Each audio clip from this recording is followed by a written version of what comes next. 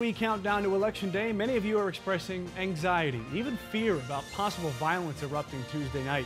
A recent poll published by USA Today and Suffolk University found 75% of Americans are concerned about civil unrest. Team 12's Josh Sanders joins us now with more on what people can do to deal with election related stress.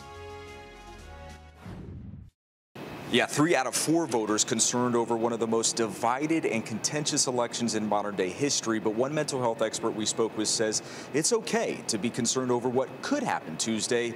We just need to be realistic.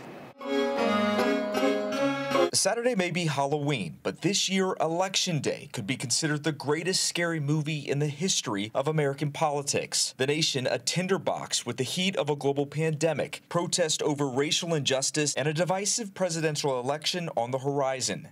When you use your power, the power of the vote. Get out and vote. Get out there right away, right away, right? A recent poll suggests many Americans fear that vote will lead to violence on election day and the days following. That's what a lot of people are experiencing. And anxiety, by definition, is concern about future events. Valley psychiatrist Dr. Robert Portley says it makes sense for people to be afraid. I think that it reflects a very prevalent sense of uncertainty that has accumulated over the last seven months. Police in Phoenix, Scottsdale, and Mesa are preparing for any unrest. Dr. Portley says it's best for voters to focus on their own actions to ease any concerns. Do as many things that you identify as caring for yourself and leave the rest behind. If it's helpful, keep doing it. If it's not helpful, let it go from a mental health perspective, I think it's really important to focus on the things that we can control. And with just a few days until polls close, Dr. Portley says one thing voters can control